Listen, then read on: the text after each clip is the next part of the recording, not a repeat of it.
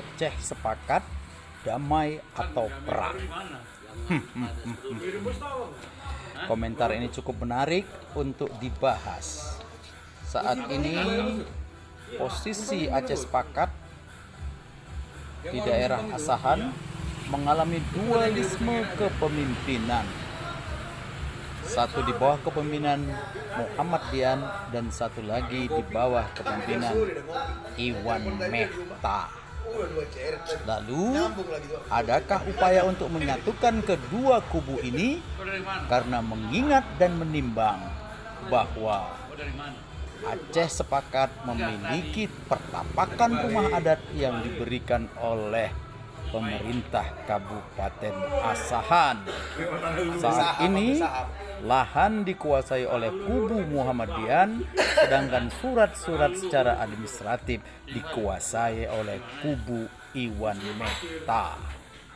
Lalu, adakah cara untuk meluruskan atau menyatukan kedua kubu ini? Ada ide yang mengatakan bahwa kedua kubu ini ketuanya masing-masing harus mengundurkan diri kemudian dibentuk pengurus baru yang lebih independen dan sekaligus mengelola tanah pertapakan. Apakah niat ini didukung oleh kedua kubu? Kita tunggu saja.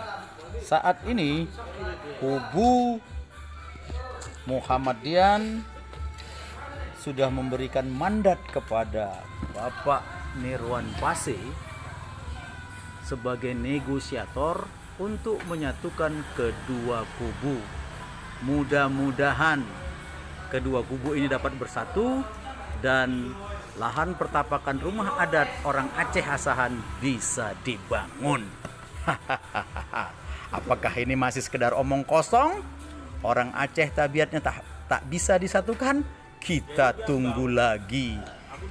Jadi, kita harapkan ini bukan sekedar wacana saja, tapi betul-betul upaya. Siapakah yang keras kepala? Siapakah yang mau membangun tanah pertapakan pemberian Pemkap Asahan? Kita akan lihat dan waktulah yang memutuskan.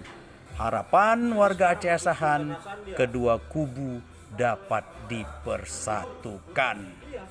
Kita tunggu upaya dan usaha serta niat dari kubu Iwan Mehta. Demikian Kripto Kisaran News memberitakan tentang pemberian mandat kepada Bapak Nirwan Pase sebagai salah satu kandidat atau formatur yang bisa menyatukan kub, dua kubu yang berseteru terkait Aceh atau suku Aceh yang ada di Asahan.